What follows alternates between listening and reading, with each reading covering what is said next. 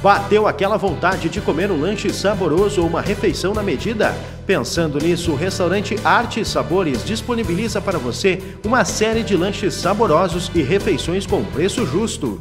Venha conhecer e desfrute da nossa tela entrega através do telefone 3672 1296. Restaurante Arte e Sabores, sua satisfação é o nosso objetivo.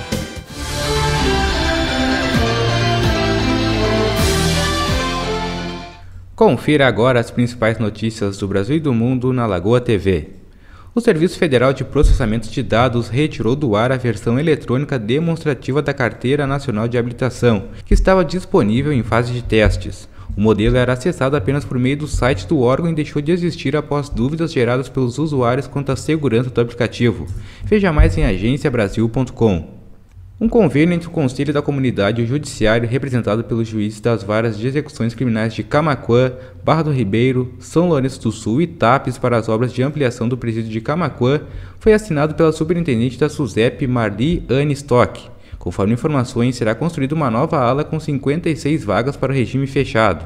O Conselho da Comunidade, que vai administrar o repasse de mais de 899 mil reais disponibilizados pelas comarcas, já intermediou diversos projetos de melhorias em estabelecimentos prisionais.